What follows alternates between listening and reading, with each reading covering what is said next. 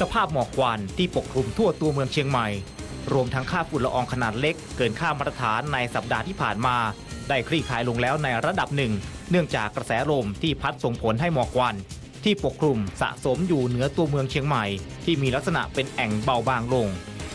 ทางด้านสาธารณสุขเชียงใหม่ ได้ให้ข้อมูลถึงความอันตรายว่า ควันไฟจะมีอนุภาคขนาดเล็กกว่าควันบุหรี่ ไม่มีกลิ่น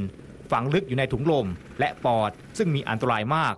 เปรียบเทียบได้จากอัตราการเป็นมะเร็งปอดสูงกว่าภูมิภาคอื่นๆ แนะให้หลีกเลี่ยงการออกกำลังกาย และให้อยู่ภายในอาคารบ้านเรือนในเวลาค่ำเพราะความกดอากาศในช่วงกลางคืน จะทำให้หมอกควันพิษลงต่ำควันบุหรี่นี่จะเป็นเป็นสิ่งซึ่งเเรารับทราบเห็นและได้กลิ่นสัมผัสได้ เพราะฉะนั้นจากควันบุหรี่เนี่ยคนจะหลีกเลี่ยงนะฮะแต่ว่า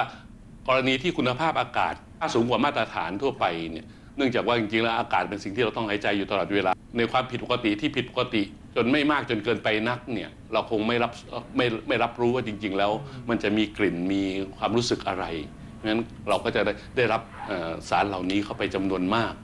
ติดต่อนานๆ ก็จะเป็นปัญหาต่อสุขภาพไม่ว่าจะเป็นเรื่องของการอักเสบ เรื่องของปัญหาโรคทางเดินหายใจโรคเอ่อหัวใจและหลอดเลือด หรือแม้กระทั่งเอ่อเป็นบอกเกิดของเอ่อโรคมะเร็งในอนาคตได้ สำหรับประชาชนที่อยู่ในพื้นที่หมอกควันไฟปกคลุม ทางสาธารณสุขได้จัดเตรียมหน้ากากอนามัย ไว้ตามสถานที่บริการอนามัยโดยไม่เสียค่าใช้จ่าย และช่วงนี้จัดให้มีกิจกรรมรณรงค์คิกออฟแก้ไขปัญหามลพิษหมอกควันไฟกำหนดช่วงเวลาควบคุมการเผา 60 วัน ภายใต้ชื่อ 60 วัน แห่งการเฝ้าระวังและควบคุมมลพิษหมอกควันไฟ